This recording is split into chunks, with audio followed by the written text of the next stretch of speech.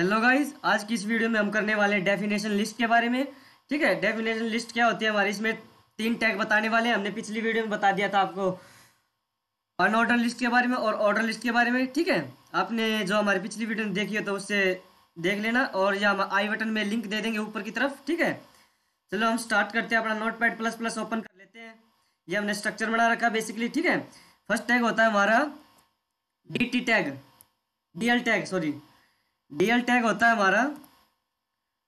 DL tag में हम बताएँगे आपको, ये होता है हमारा डिस्क्रिप्शन लिस्ट के। ठीक है, इसे हम क्लोज कर देते इसके अंदर लिखा जाएगा हमारा अगला टैग ठीक है? ये होता है डीएल टैग और फिर आएगा हमारा सेकंड होता है हमारा D T tag D T tag define करता है हमारी ट्रम को। ठीक है? इसे बोलते हैं हमें, इसकी फुल फॉर्म होती है हमारी डिस्क्रिप्शन। क्रम क्रम ठीक है? और इसको हम लिख लेते हैं डी टी और इसको क्लोज कर लेते हैं। इसके अंदर लिखेंगे हम फिर डिस्क्रिप्शन कोई भी। यहाँ से कॉपी कर रखा है, इसको पेस्ट कर देते हैं यहाँ पर, ठीक है? और सेव करते हैं। फिर चलते हमें ये सेव किया होगा हमने डेफिनेशन लिस्ट से सेव किया होगा। राइट क्लिक करना है ओपन विद गूगल में, ये देखो।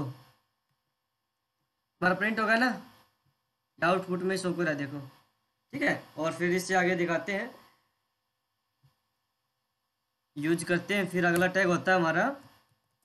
डी डी टैग इसे बोलते हैं डिस्क्रिप्शन डाटा जो भी हम डाटा लिखेंगे, इसके अंदर आएगा, ठीक है?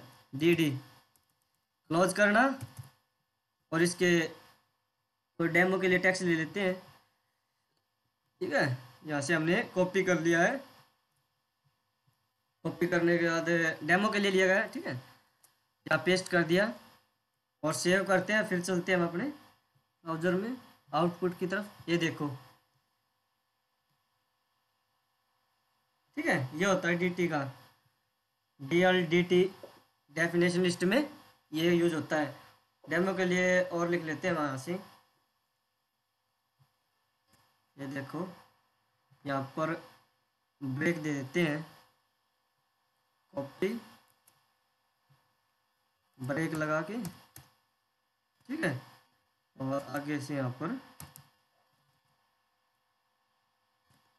पेस्ट कर देते हैं, ठीक है?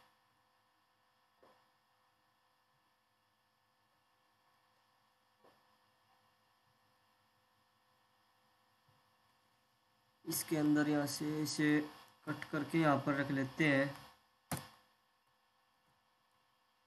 सेव करते हैं अब। ठीक है?